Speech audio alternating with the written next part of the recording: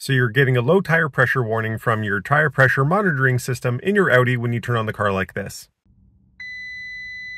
Have you recently changed your tires or wheels between seasons? It's important to know that the sensors inside of your wheels don't actually send tire pressure information to the car. Audi uses what's called an indirect monitoring system utilizing the ABS system. So it'll check the tire tread circumference and the vibration characteristics of all the different tires and compare them to one another meaning your car might think tire pressure has dropped, but realistically, you've either sized up or sized down your tires, or maybe your sidewall ratio has changed. So once you've actually set your tires to the desired pressure, simply using your infotainment system, go to Vehicle, over to Service and Checks, Tire Pressure Monitoring, Store Tire Pressure, Yes.